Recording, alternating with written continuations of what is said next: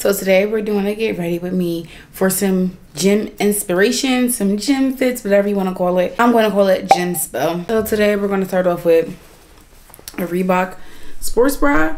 I got it from Walmart for like $18. This is my first time trying a Walmart sports bra.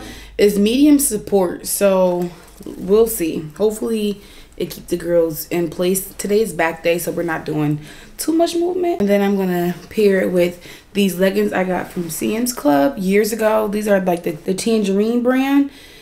These are actually like one of my favorite leggings. They sculpt and they hold, baby. They sculpt and hold. And then we're just gonna pair it with some, some regular black tube socks.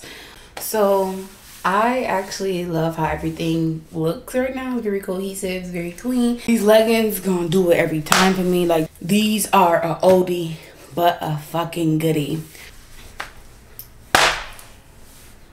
She's sitting. She's literally sitting, babe.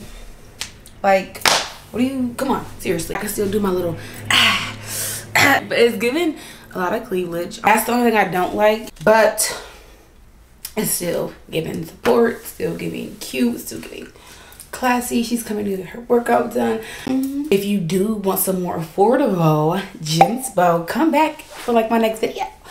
I'll see you in the next video.